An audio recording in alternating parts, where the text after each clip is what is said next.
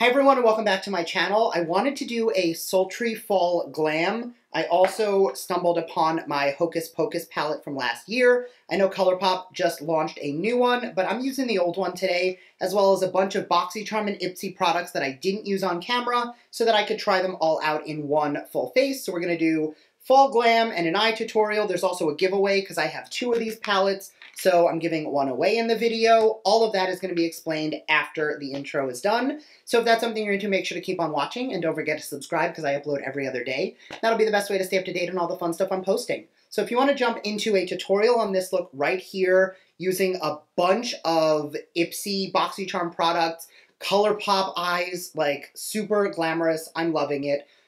Let's jump into it.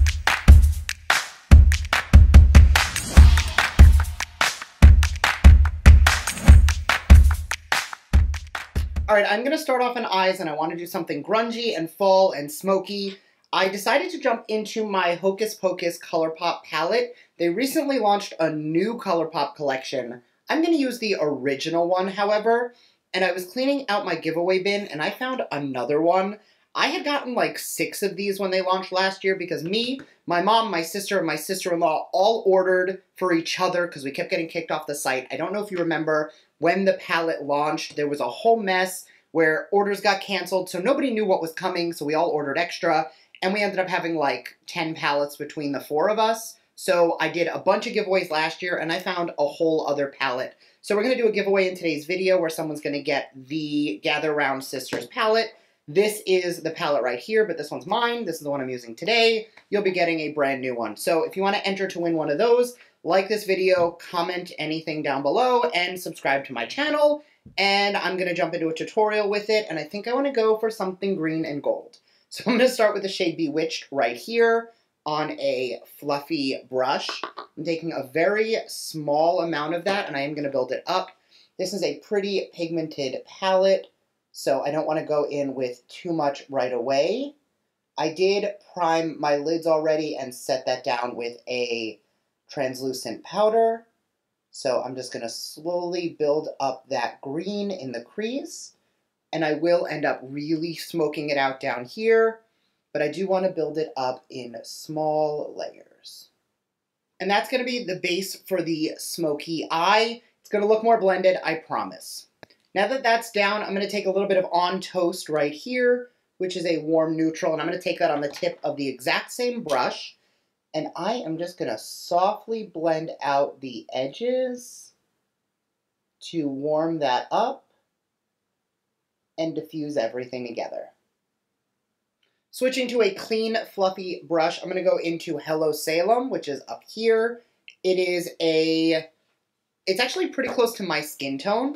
So I'm actually going to take that up under the brow and then blend that down and into the crease and then back up. And that's just going to cause everything to look a little bit more blended together. Originally, I was going to go into Brew Potion, the glittery shade up there, but I'm really liking the taupey one down here. So I'm going to go into Wench, which is a taupey shimmer. It's got a little bit of like an olive undertone, but it is definitely on that like neutral taupey side. So I'm going to take that on the lid.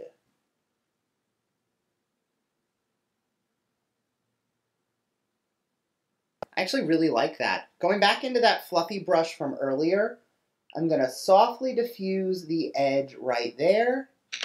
And then grabbing that other first brush with no additional product, and I'm just going to blend over the edge so that everything looks pretty blended.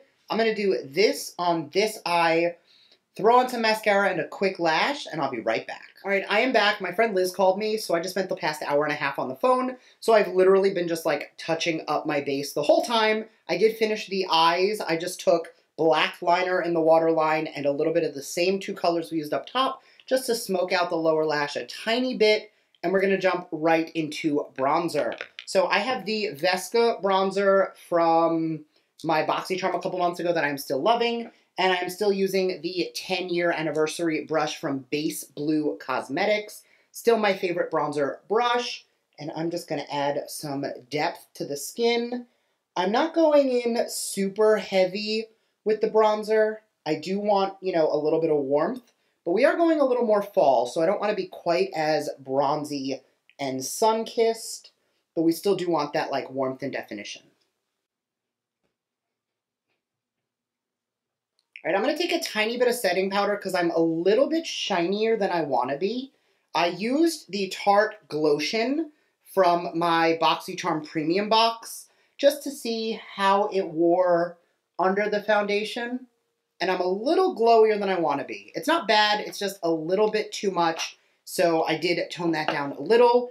Also, out of my Ipsy this month, I will be using the Glow on the Go Jet Setter Highlighter from Galactic and the YC Collection Liquid Blush. This one is in the shade Guayaba. It's a really pretty, like, corally terracotta. So I am going to apply this to the high points of the cheek and really hope that I didn't apply too much.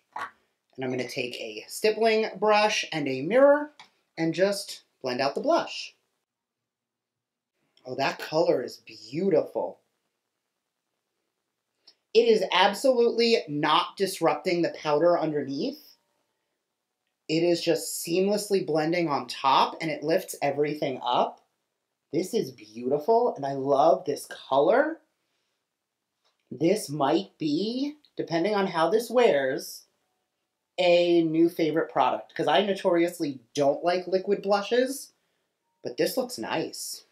I'm going to grab my sponge from earlier and just kind of press over that it is blending out seamlessly and I'm not getting any grabbing or any areas where the blush looks heavy, but I do just want to use the sponge just to make sure if there is any extra that it gets picked up, but that's really stunning. And then grabbing that highlighter, just going to add to the outer C of the eye, which is going to be brow down to cheekbone. And I'm going to take that same brush that we used with the blush and just use that to blend everything out. That's beautiful. So I know I didn't use these in my Ipsy video, but now that I am using them today, these are beautiful products. And I'm really happy how everything's looking. And it's not looking super rosy, which is good, because I'm going in within like a really vampy lip today. And when I go in with a vampy lip, I like warmth and color in the face, but I don't want it to be too, too much. Because everything that claims to be long wear is not long wear on me because of how oily I tend to get, I'm going to take a tiny bit more powder and just lightly set all of that down.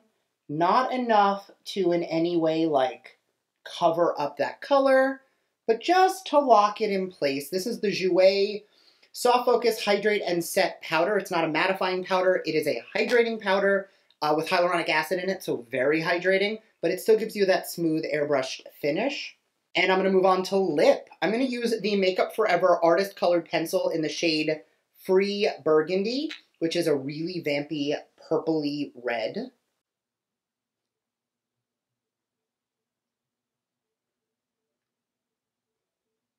And now that the base of the lip is done, I'm going to grab from my BoxyCharm this month as well, the Bare Minerals lipstick. This is in the shade Integrity, which is a little bit lighter, so I think they're going to ombre together really beautifully.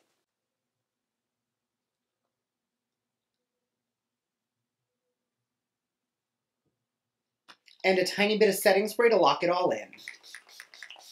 And that is the finished look, and honestly, I have missed fall glam because I have not felt this gorgeous and like sultry in a really long time. I'm loving the taupey neutrally eye. I wish it was a little more green, but the color does tend to pull a little bit more of that like gray green, but I'm not mad at it and I'm getting very old Hollywood glamour vibes with this rich lip. Let me know your thoughts down below on everything we tried today, and I will see you all in my next video. Bye!